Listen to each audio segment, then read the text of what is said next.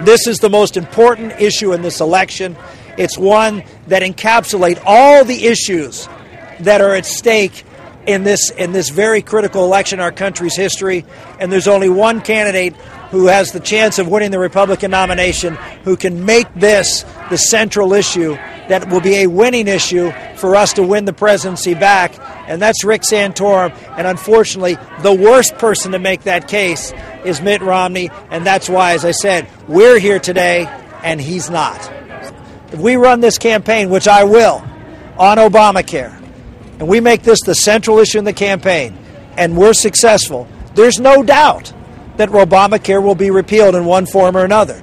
And that's not going to be the case with Governor Romney because he can't make it the argument.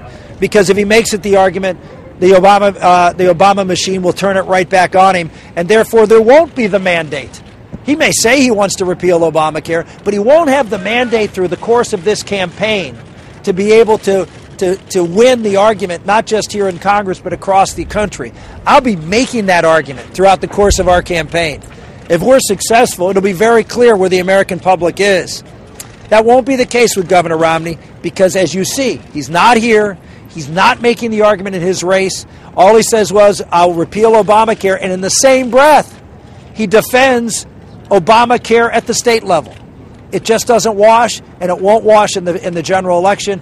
And that's why, if you really want Obamacare repealed, if you really want Obamacare repealed, there's only one person who can make that happen, and that's someone who makes Obamacare the central issue in this race, and that's what I do.